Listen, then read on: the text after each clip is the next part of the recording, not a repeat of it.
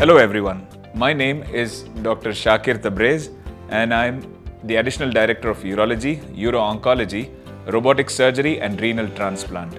Today we welcome you to Fortis Cunningham Road and to our Department of Robotic Urology. We are proud to have the Da Vinci surgical system with us in our operating rooms. Most patients, their surgeries, they benefit when there are lots of good surgeon factors. Now, what are the surgical factors which help a surgeon? Number one, the surgeon should not allow muscle fatigue or tiredness to interfere with the surgery. In that manner, when you're sitting down comfortably on the robotic console and doing the surgery with ease, the muscle fatigue doesn't translate to any issues with the surgery. So that's number one. Number two, when the surgeon's visual field is clear and magnified.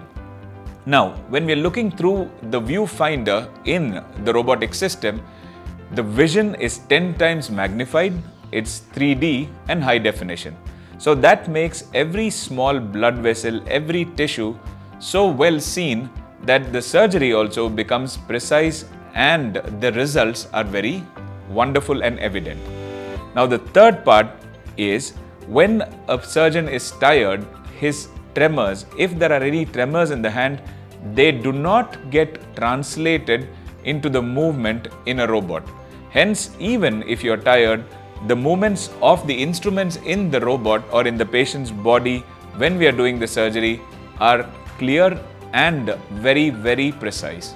So, all these are surgeon's factors which help in a surgery going well, which translates to lesser pain, smaller scars, quicker recovery, and better results for the patient.